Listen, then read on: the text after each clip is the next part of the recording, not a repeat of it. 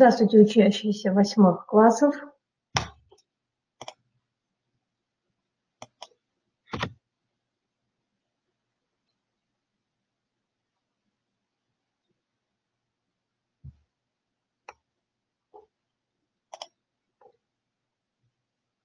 Здравствуйте еще раз всем. Пока мы все собираемся, Давайте поговорим о домашнем задании, о его выполнении. Значит, у нас сегодня четвертый урок истории. И мы с вами должны доделать все конспекты и прислать мне. И э, с этого урока у нас задание будет теперь в Я-классе. Мы достаточно накопили с вами знания, да, чтобы работать теперь уже там. Поэтому сегодня последний срок сдачи всех ваших домашних работ.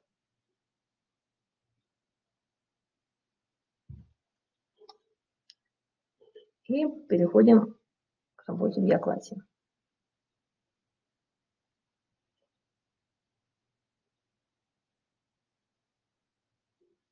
Насчет домашнего задания все понятно?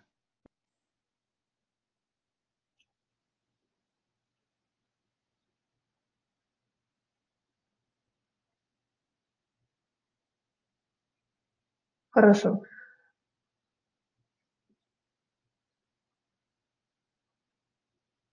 Если кто-то забыл мою почту, да, я пришлю еще раз классным руководителям.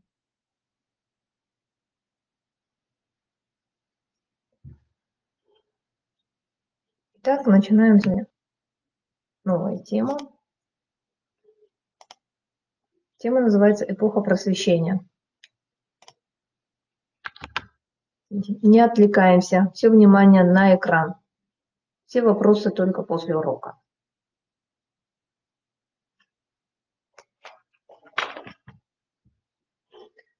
Тема урока – эпоха просвещения.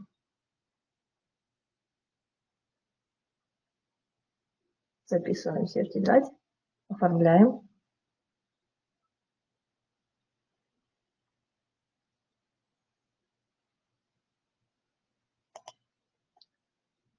Цель нашего урока – это сформировать представление об идеях философов эпохи Просвещения и их влиянии на общественную жизнь стран Европы в XVIII веке.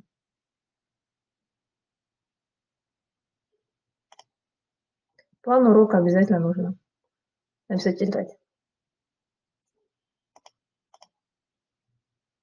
Первое по плану у нас понятие просвещения –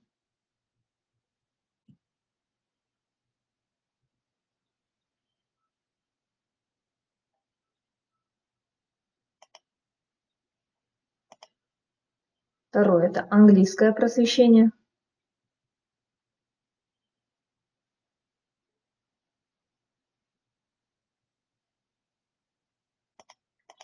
И третье – это французское просвещение. Вот по этому плану сегодня будем работать.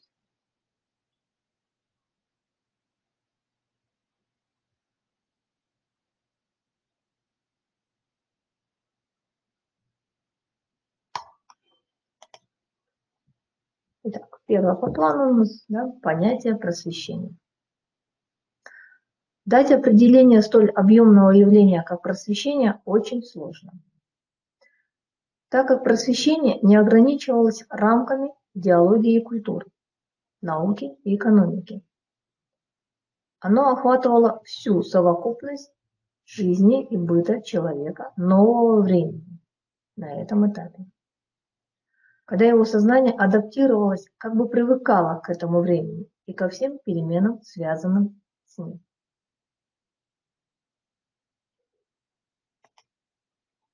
Психологию и мировоззрение человека изменили три величайших явления.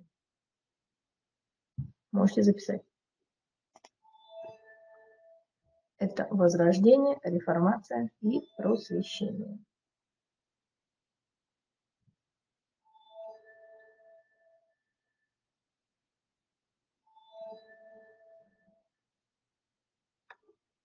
Теперь давайте запишем Определение слова просвещение.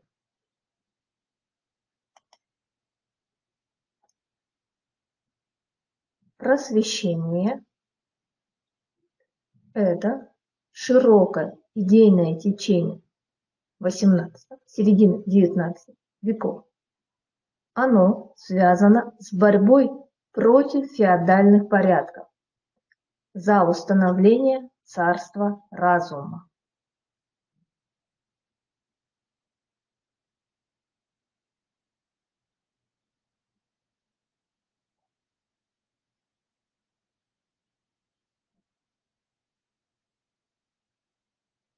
Новое для вас понятие нужно будет обязательно выучить. В ее классе будем работать с понятиями.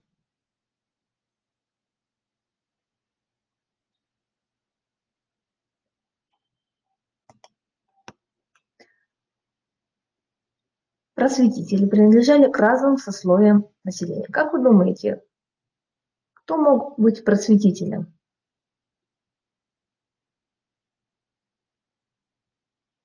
Можете писать в чате.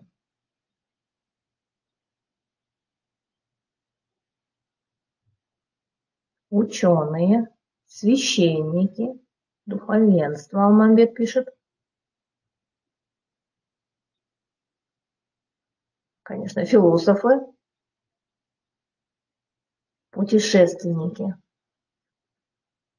Молодцы, правильно мыслите. Посмотрите. Просветители могут дворяне могли быть, главенство, простые служащие.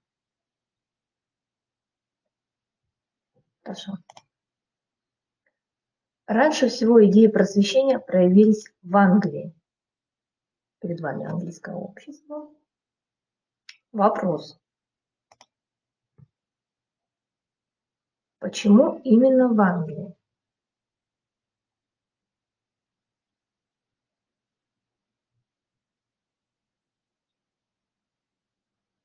На прошлых уроках мы проходили с вами, да? Так, самая развитая страна.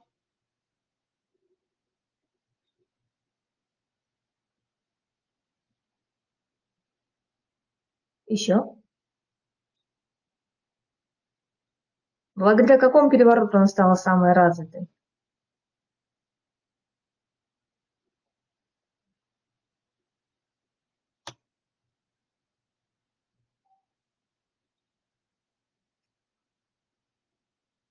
промышленному, пишет Айдай. Правильно. Внимание на экран. В Англии, стране наиболее передовой и развитой экономики, наиболее древних и прочных политических традиций. Идеи просвещения появились раньше, чем в других странах.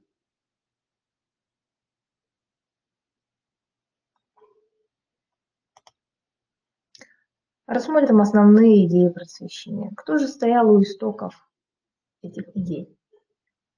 В тетрадь нужно будет записывать имена просветителей.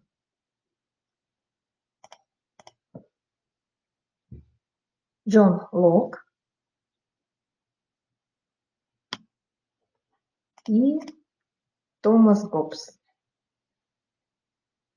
стояли у истоков идей просвещения.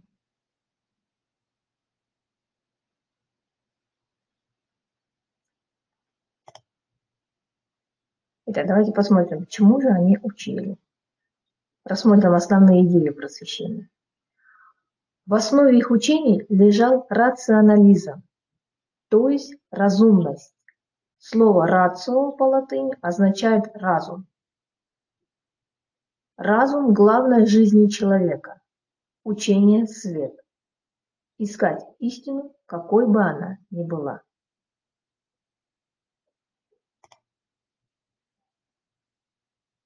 Следующая идея – это ироничное отношение к религии.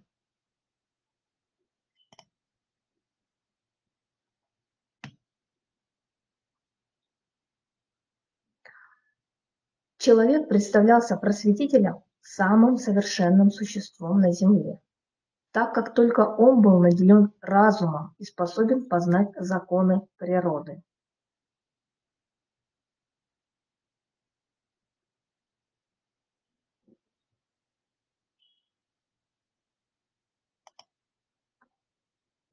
Все движения человеческой истории просветители рассматривали как движение человечества от темноты и невежества к познанию законов мира.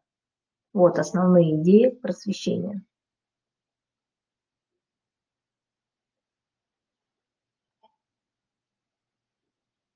Итак, что главное в жизни человека считали просветители? На что человек должен был опираться? На разум, верно.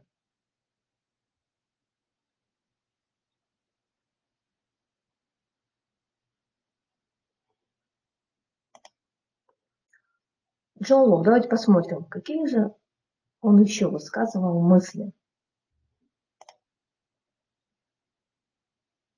Что от природы все люди равны,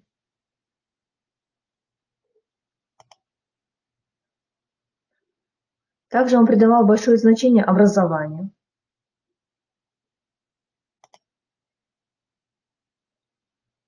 И общественное неравенство Джон Лок объяснял тем, что люди родились и воспитывались в разной социальной среде.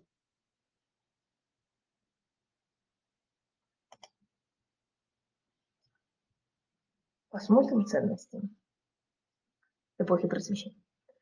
Значит, первое. Равноправие и свобода каждого от рождения моральная свобода личности, свобода слова, убеждений, право на сопротивление угнетению. Недостатки. Невнимание к традиции, недостаточный психологизм, то есть не рассматриваются внутренние чувства человека.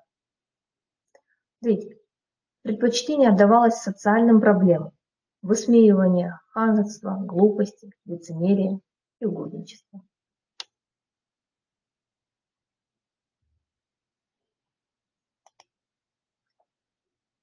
Мысль о верховенстве всевластии человека и его разума пронизывала не только социальные учения эпохи просвещения.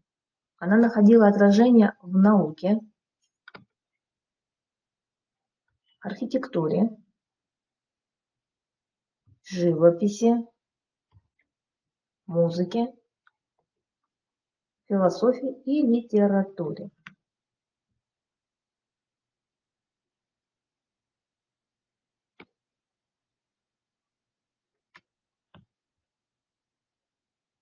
Представитель английского просвещения Даниэль Дефо. Слышали о таком писателе? Что он написал? Какую книгу?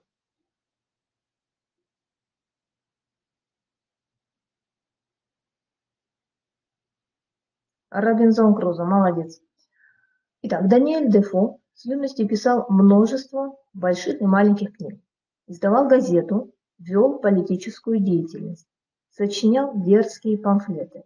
Памфлеты – это небольшое обличительное полемическое сочинение на общественно-политическую тему.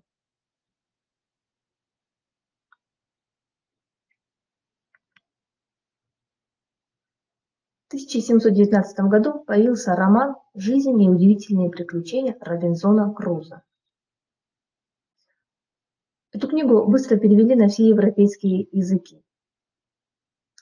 Значит, а, о чем рассказывается в этой книге? В этой книге рассказывается о человеке, который, потерпев кораблекрушение, да, оказался на необитаемом острове, на котором провел 28 лет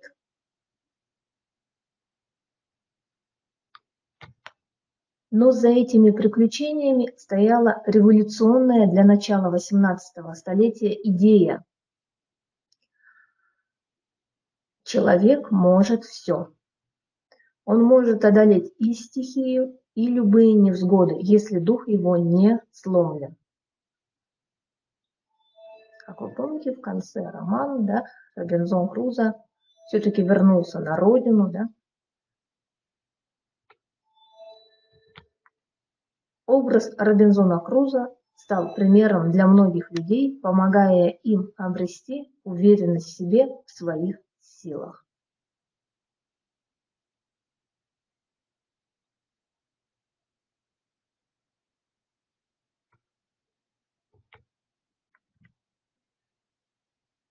Следующий представитель эпохи просвещения – это Джонатан Свифт.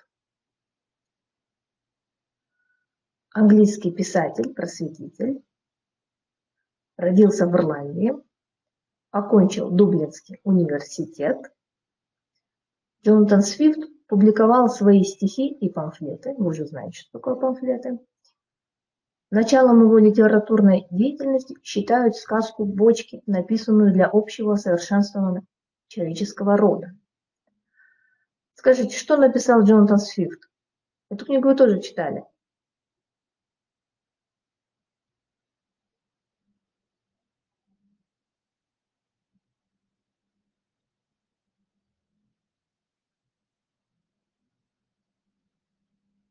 Только Айджана, да, читала, но верно. 1726 году был написан роман «Путешествие Гулливера». В своем романе, не отвлекаемся, в своем романе Свифт хотел показать, что усилий только выдающихся личностей мало для изменения жизни всего общества. Необходимо, чтобы люди сами захотели измениться. Смысл романа – осмеяние неправильных форм общественного устройства.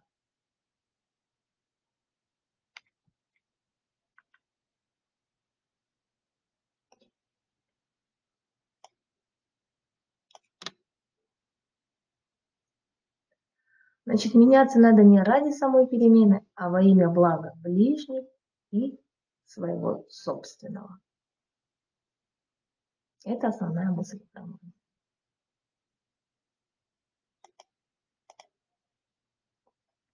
Так, мы с вами рассмотрели английское просвещение. Теперь переходим к третьему вопросу у нас по плану. Это французское просвещение.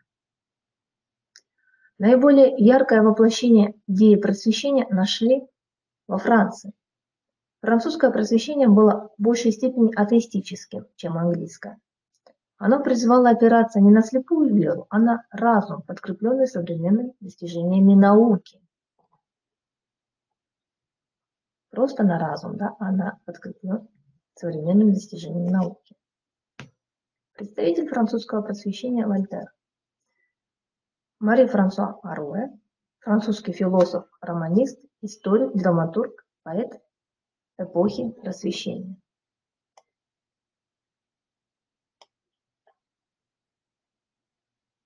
Записывайте в тетрадь, у него очень длинное имя.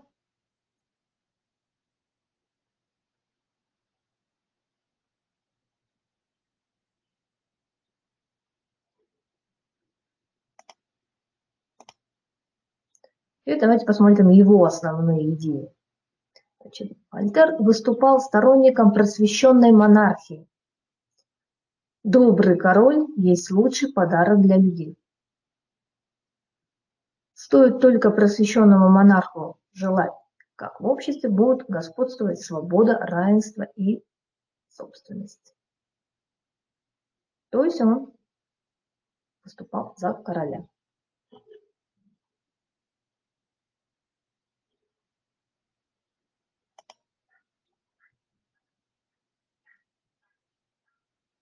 Следующий представитель эпохи просвещения.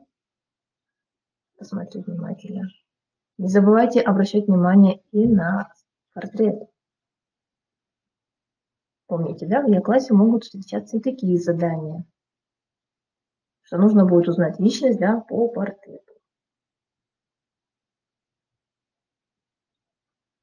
Значит, Шарль Луи Десиком, барон де Монтескье тоже французский писатель, правовед и философ. Его основная идея – это свобода. Считал Монтескье, быть может, обеспечена только законами.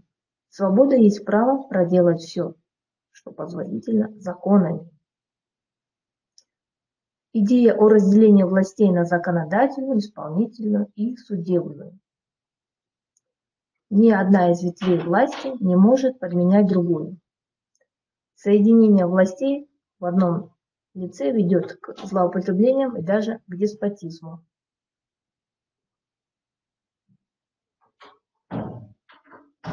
Это основные идеи Монтескье.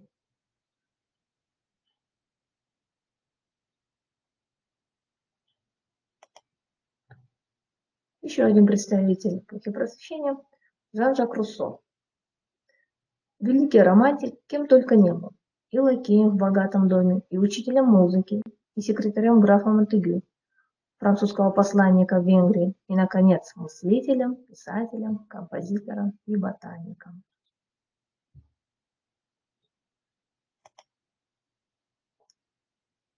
Его основные идеи – это появление частной собственности принесло человечеству неравенство, рабство и другие бедствия. Однако не считал возможным уничтожить ее и хотел лишь ограничить размеры, то есть уравнять крайности богатства и бедности. Верховная власть должна принадлежать народу, идеал демократическая республика мелких собственников.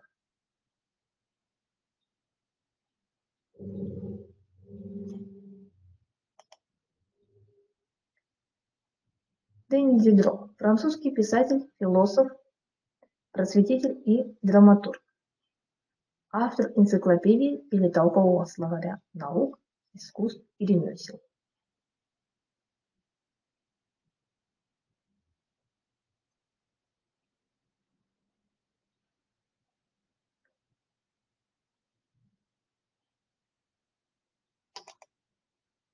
Его основные идеи.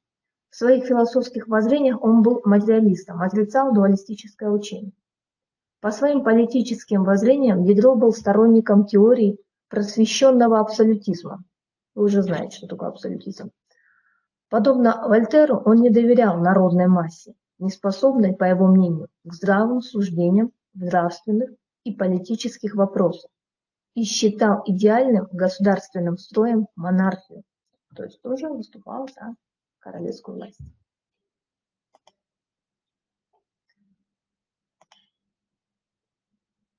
Французская революция и последовавшие за ней наполеоновские войны обозначили конец эпохи просвещения.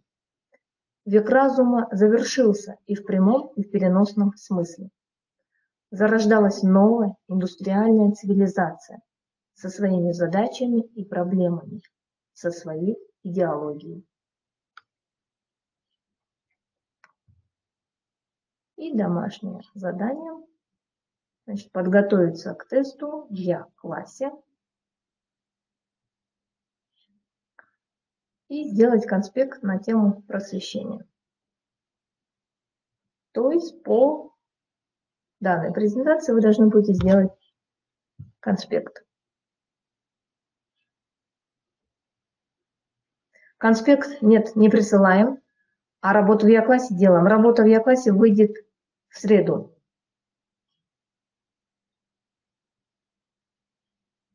Но все те работы, которые вы не сдали, пожалуйста, пришлите их.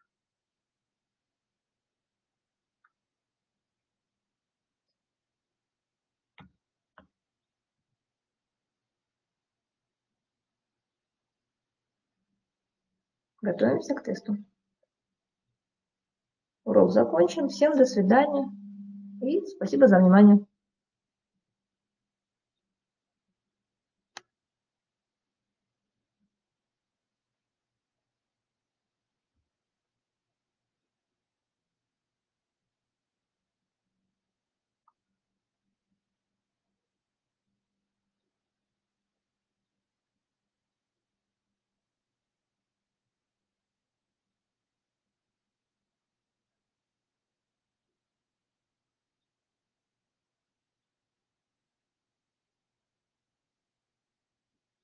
Я отправлю вам презентацию.